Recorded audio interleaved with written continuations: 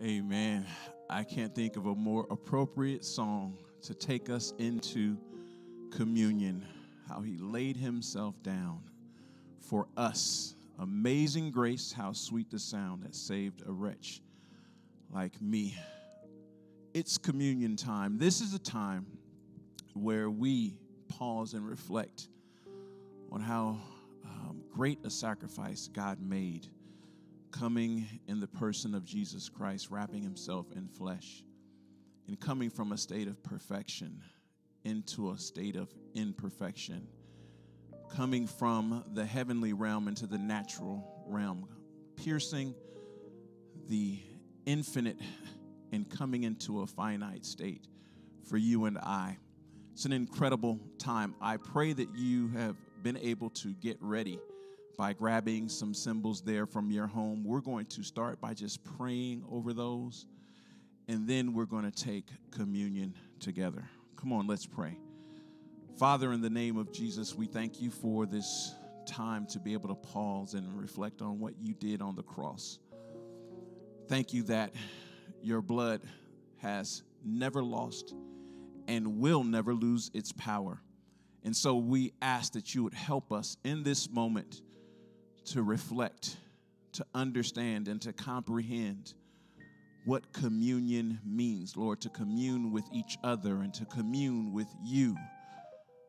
We ask that you would bless the symbols as we partake in this time together. Lord, and we'll be so careful to give your name all the praise, honor, and glory that it deserves. In Jesus' name we pray. Amen and amen. And on the night that Jesus was betrayed, took the bread and broke it, said, This is my body broken for you. Take, eat of it.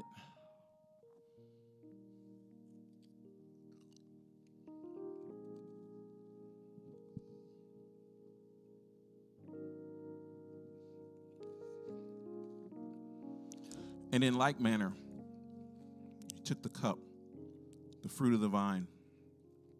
He said, This is my blood shed for the remission of your sins.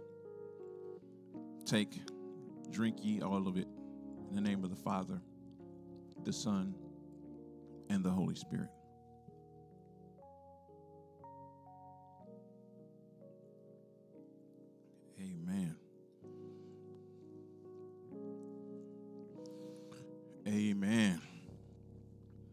That's a great spot to say hallelujah right where you are. We are so honored to be able to meet with you virtually. And even though we're meeting virtually, we are firm believers that we still need to be the friendly church that God has called us to be. And so, as I'm sneaking a peek over, I'm seeing some phones that aren't open quite yet, where we can't see them just yet. I see there, uh, Sister Jeanette. I see uh, Kathy and Rick uh, with those closed uh, cameras. And so I want you to prepare yourself by opening up your camera right now and just beginning to wave. This is meet and greet time where we can open up our cameras, wave at each other, and say how you doing. Look in and see, kind of flex on them, let them see that you're still hanging in there. You're still, by the grace of God, sound and healthy and able to just wave at one another. Come on, there you go. I see it. You can send some chats for those of us that are joining uh, by Facebook. We ask that you would just send a shout out in Facebook. Let us know who you are, where you are. Uh, just take a few moments and say hello. Take a few moments and talk to each other there. And as we do that, we're going to prepare ourselves to head right into the word for today. So, thank you again on behalf of the College Park Church family, my wife Carmen, myself, our leadership team. We love you and thank you for joining in with us on today. Invite a friend for Tuesday and next Sunday so that we can continue to share the word of God and get the word out about what's happening here. All right. Now, we are moving right into our time of sharing today. Um, we have been talking what uh, last week I shared that it's kind of grown into a a series organically uh, that started on Father's Day with uh, Noah um, uh, as, as father. And the underlying concept there was uh, favor in fearsome times. And uh, we are now looking at not only Noah in that first week, but we're spending last week and this week at least talking about Daniel and some of the incredible things that he did. And then we're going to follow up with some time from Job. Now, the reason why we're doing this is found in part, at least, in the book of Ezekiel. Let's put that up really quickly and let's read through that. Ezekiel 14, 19, and 20 says, Or if I send a plague into that land and pour out my wrath on it, through bloodshed, killing its people and their animals, as surely as I live, declares the sovereign Lord. Even if Noah, Daniel, and Job were in it, they could save neither son nor daughter. They would save only themselves by their righteousness. And so that became a launch point first on Father's Day, talking about Noah. And then from there, we are moving right into looking at Daniel and Job. And so that's kind of the overarching point. And last week we started by talking about Daniel and spending some time with him and seeing what we could pull from him that would help us understand this concept of favor in fearsome times. Uh, we want to make sure that with all that's happening in our lives, all that's happening in our communities, and all that's happening in this nation and in this world, that we understand these are definitely fearsome times, but we are called to walk in such a way where we can still have the favor of God. Last week we spent some great time defining favor, understanding that it's not to be confused with putting God in a genie uh, genie's lamp and just rubbing on it and expecting Him to give us any desire anytime we want, but that we would be able to walk in such a way where number one, He notices us, He calls us out, much like He called out Noah, Daniel, and Job, and then we would walk in favor no matter what circumstances bring our way. And this is not an easy task. Believe me when I say it.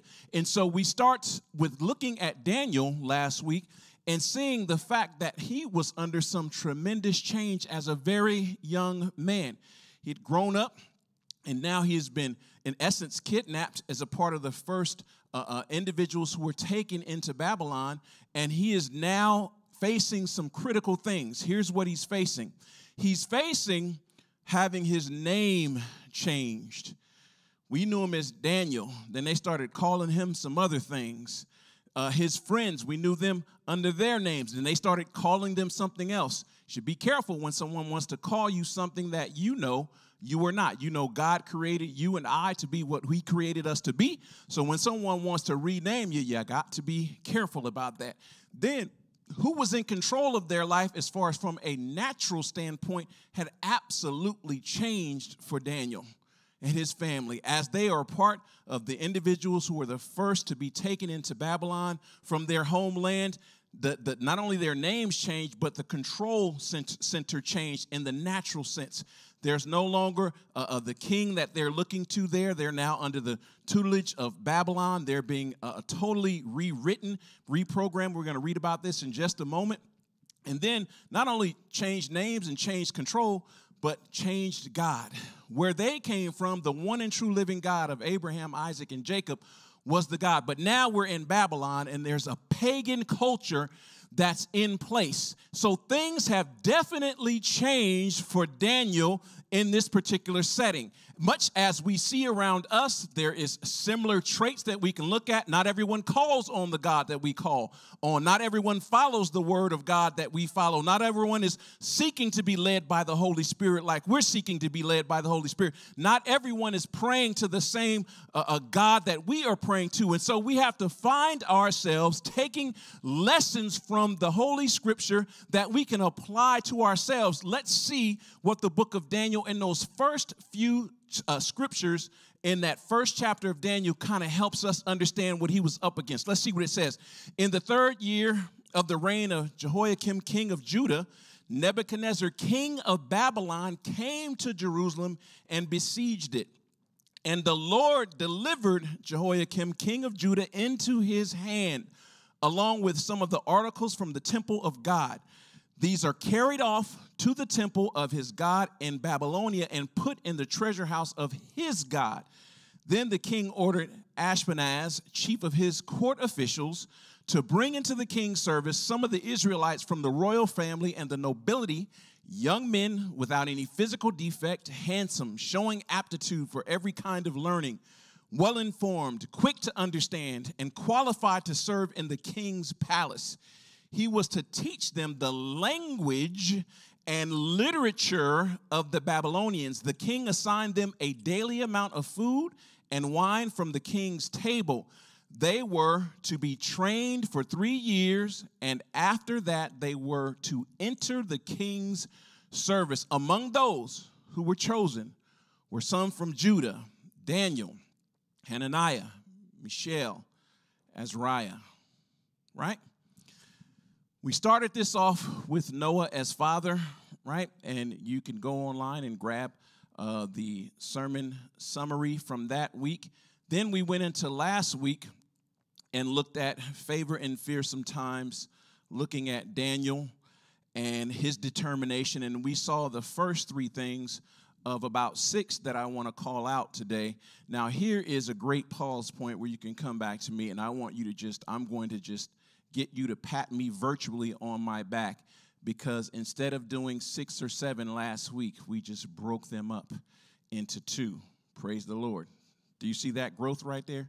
Do you see that's not trying to cram it all into one so we could just have an A and a B for this lesson right here? That that's a that's right there. That's worthy of dancing and twirling and shouting before the Lord right there. So we could just shave off another 28 to 38 minutes of the service by doing that wisdom right there.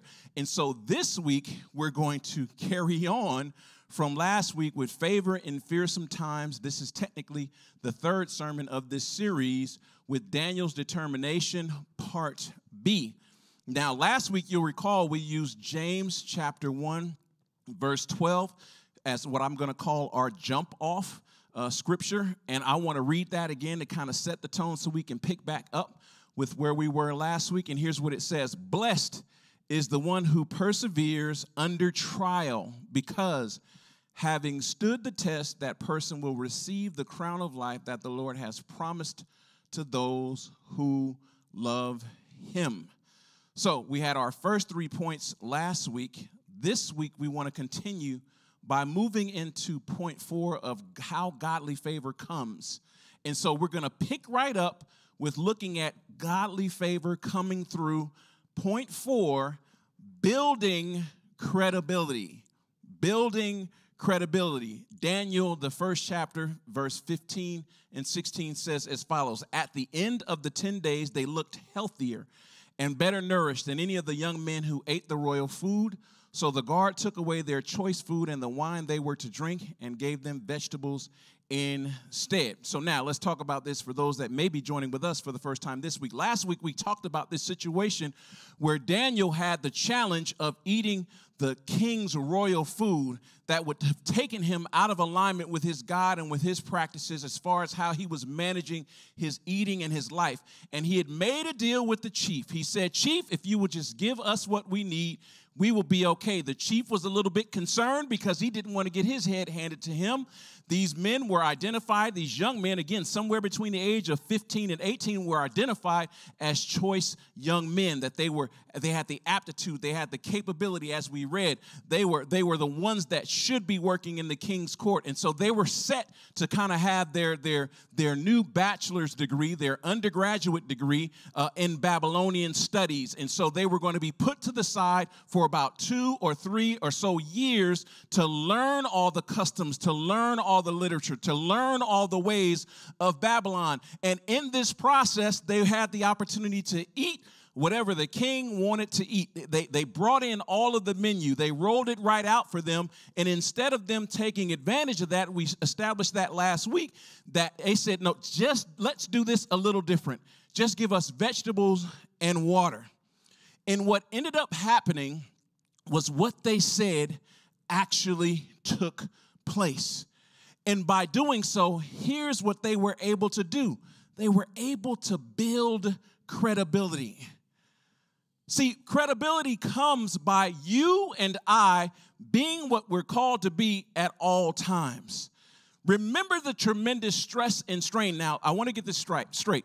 It's not that these individuals were being beaten and into some sort of chattel uh, labor situation. It's not likely like that at all. If they're working in the king's court, it's a slightly different circumstance. And so, while it wasn't necessarily the most physical pressure, a high high pressure situation, what was going on for them instead is their spiritual boundaries, the boundaries that they set for themselves for following what God has called for them to follow, were extremely tested because now they're in a position where they can have and do anything that the king has set before them.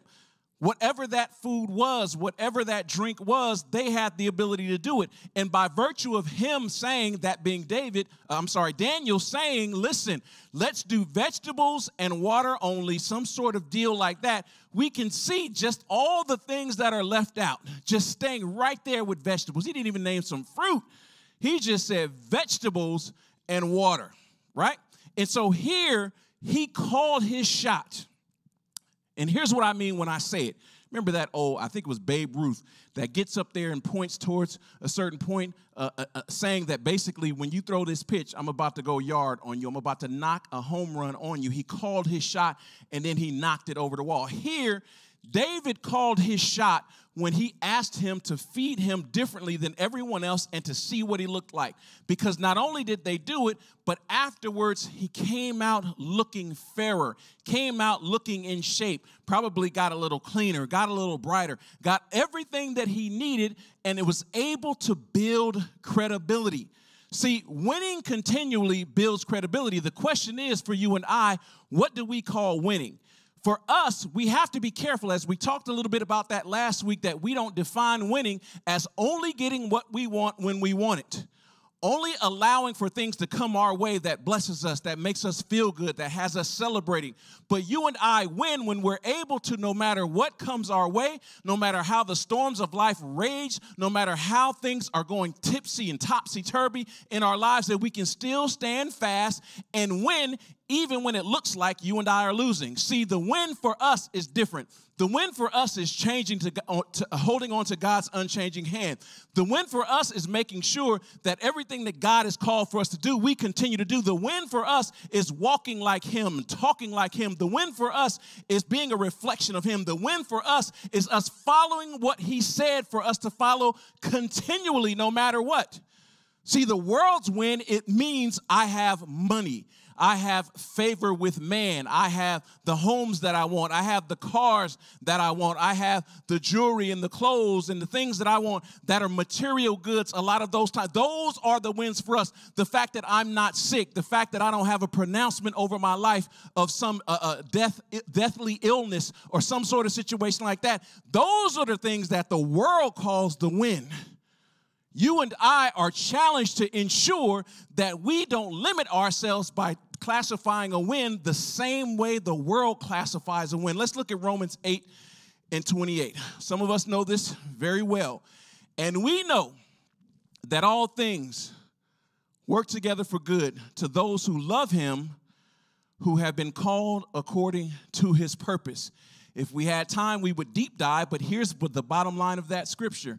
Here's what Paul is trying to help us to understand no matter what happens, if we are relying on God, whether I live, whether I die, I'm in God's hands. As long as I continue to do what He's called me to do, as long as I am following after His precepts, as long as I am following after His will, after His way, no matter what happens in life, He is the great conductor.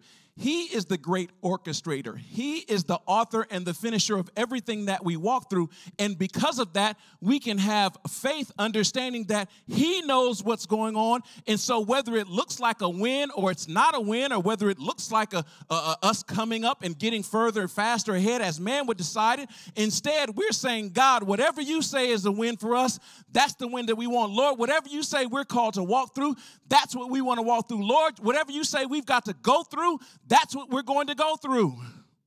Because no matter what happens, it all works to the good as long as I stay in Him, uh, attached to His will, attached to His purpose for my life.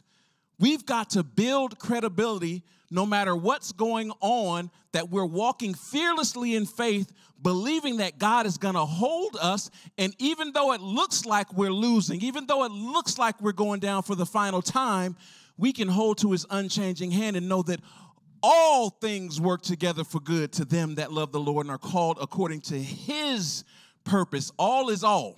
All is all. Point number five godly favor comes through not only building credibility, but having brains. Amen. This one might go down a little hard, but just bear with me for a second. Let's go to Daniel 1 17. To these four young men, God gave knowledge and understanding of all kinds of literature and learning. And Daniel could understand visions and dreams of all kinds. Okay, here we go. There has to be a respect and a desire for getting knowledge. My oh my. Sometimes I'm sad to say that we are stuck in our, um, how can I say this? We're stuck in a rudimentary um, a, a phase of, of learning the things of God.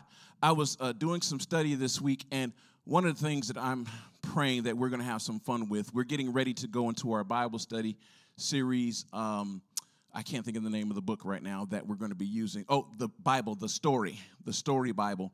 We're going to start that here in a couple of weeks. You'll be hearing more about that. Uh, and, and one of the things that amazes me is the underlying history.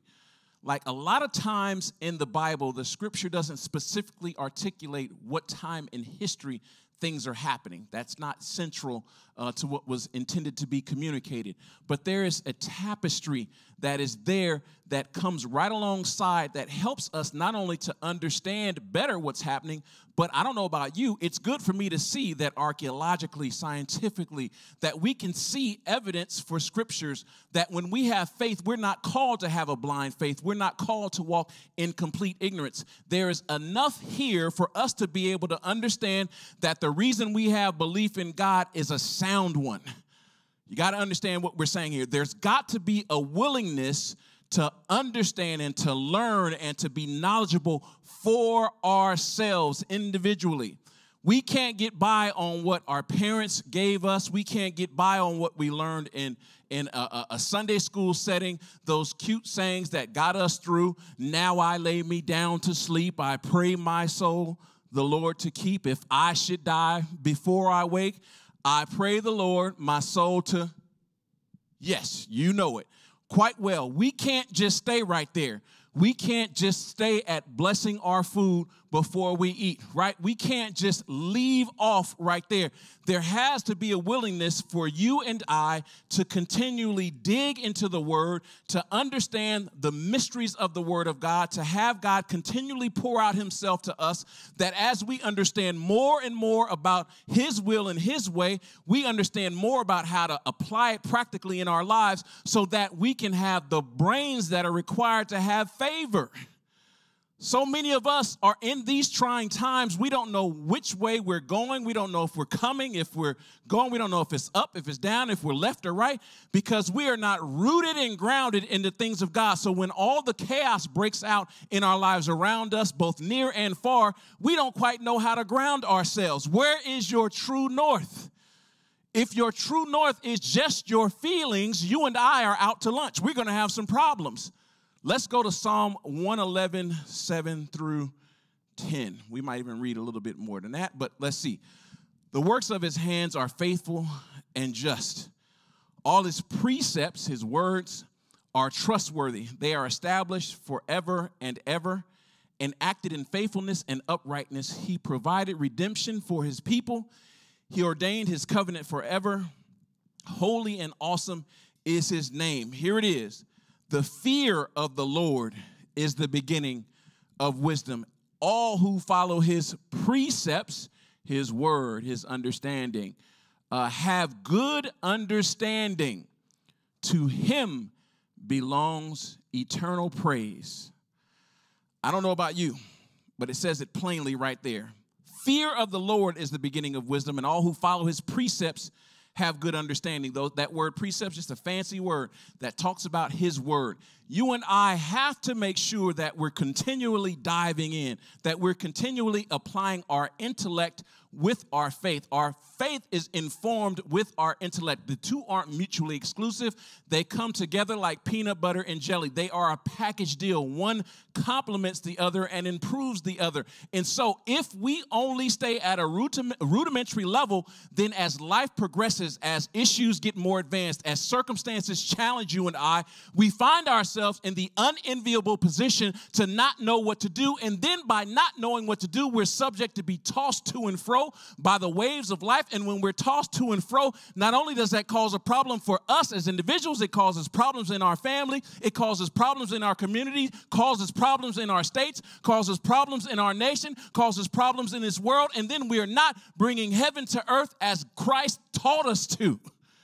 It is an ongoing challenge that the church universal, made up of individuals who look suspiciously like you and I, has to be called to engage our mind Spend a little less time on some of the things that eat away at your time and spend more time at the things that will help you be able to glorify God no matter what's going on in our lives. We've got to have favor come through not only building credibility, but having brains. And then finally, godly favor comes through better. Let's read Daniel 1 19 and 20. The king talked with them, and he found none equal to Daniel, Hananiah, Mishael, Azariah. So they entered the king's service. Listen at what it says here. In every matter of wisdom and understanding about which the king questioned them, he found them 10 times better than all the magicians and enchanters in the whole kingdom. Let's say that again. In every matter of wisdom and understanding about which the king questioned them, he found them 10 times better than all the magicians and enchanters in his whole kingdom. Listen, I need you to understand this. The king of Babylon, the pagan society, brings in Daniel and his three boys, and he talks with them. Apparently, it wasn't just a quick five minute exchange, because it said on several areas as they discussed, he found them, hear this, the pagan king, the king of the world, the king who is not following the God of Abraham, Isaac, and Jacob, the king of the world engages with them and his takeaway is they are 10 times better than any of the magicians, right?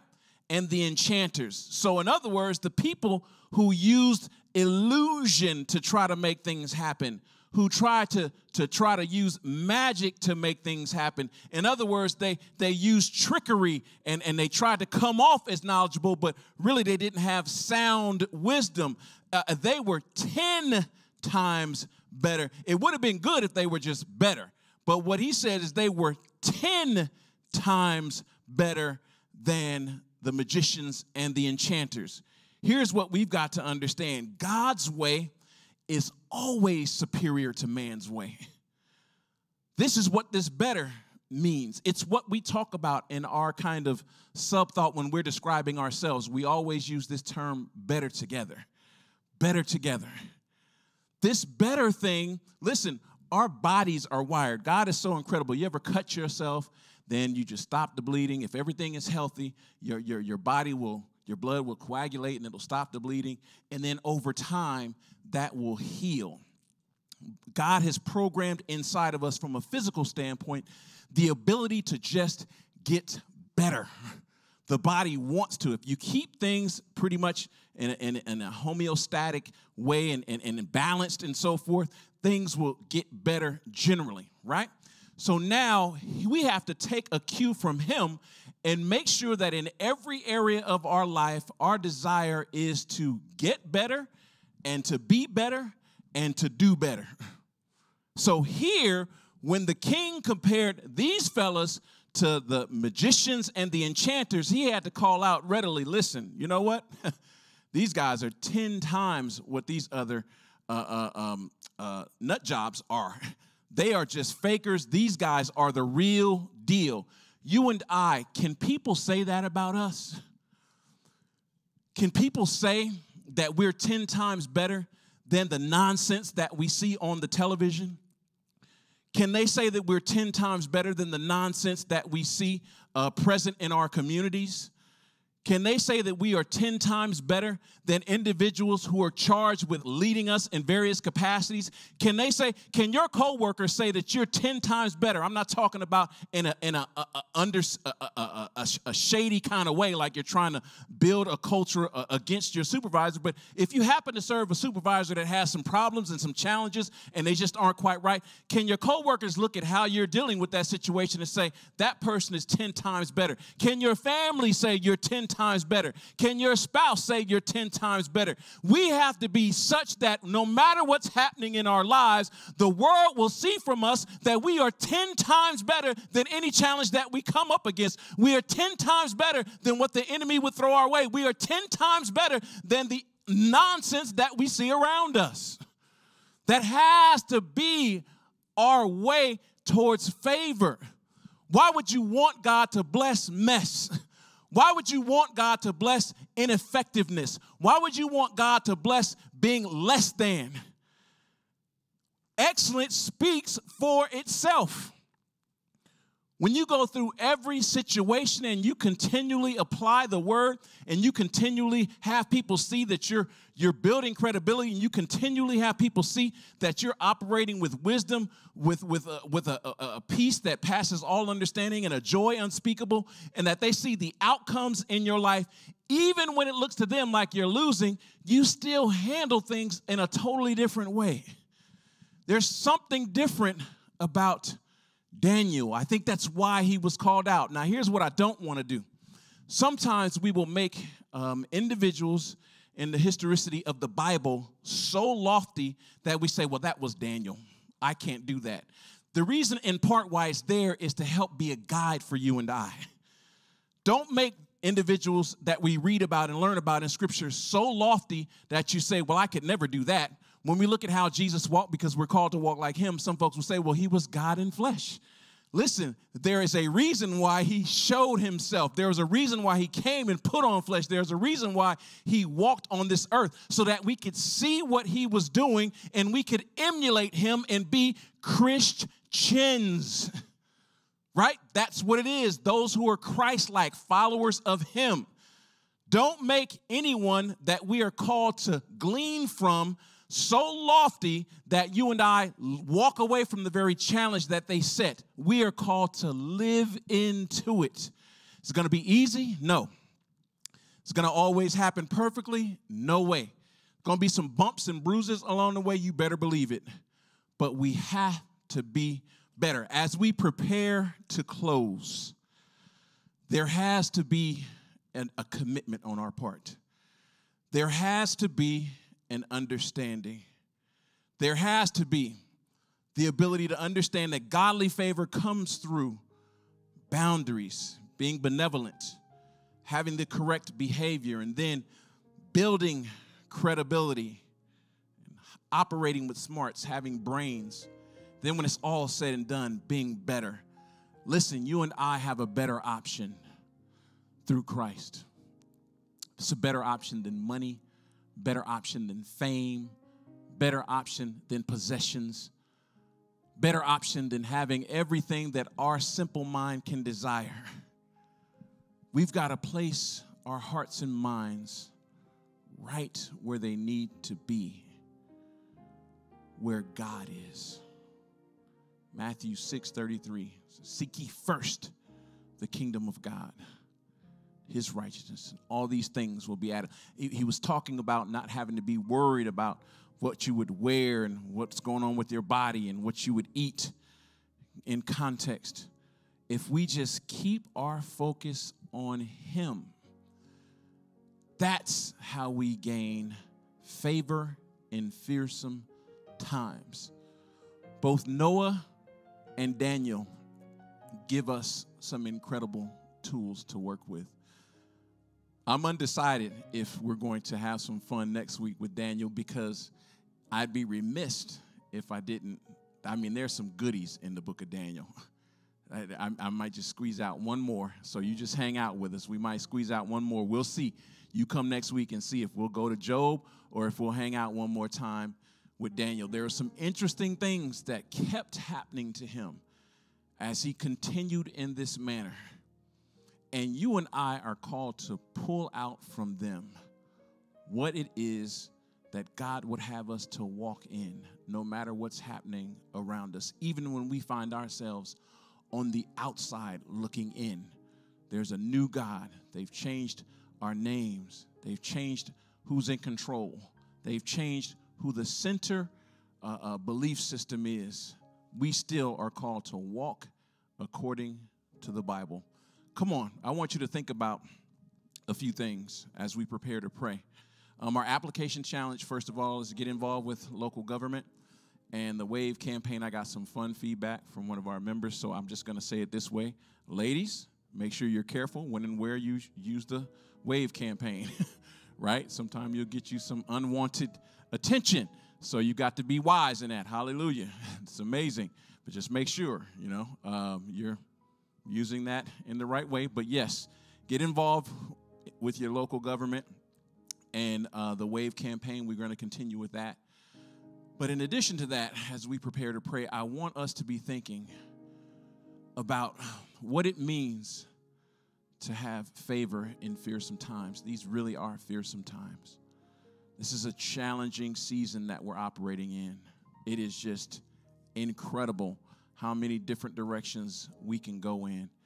And as we talk about end times, I am not, you know, one of these that, you know, inappropriately harp on um, so many different things. So many different generations can talk about the end times from the apostles forward. Um, we're in the last days. But um, as Bishop Dixon used to say, we're closer than we've ever been to the last days and the final days before Jesus' return. And we need to be ready by walking in favor in spite of the fearsome times that we find ourselves in. So, where are you? Where are you in this discussion? Are you like Noah Daniel, and Job? Or are you tossed to and from? Depending on what happens, for some of us, we're finding we're easily tossed to and from. Let's pray. Father, we thank you for challenging us, helping us to understand all that's happening in the life of Noah and, and Daniel and Job as it relates to favor and fearsome times. Lord, we ask that you would help us to apply this to our lives, that we would not just be hearers of the word, but that we would be doers of the word. Lord, we ask that you would help us to walk through each one of these elements and look critically, analytically at ourselves first before we look anywhere else and see are we doing those things that would garner favor in these fearsome times?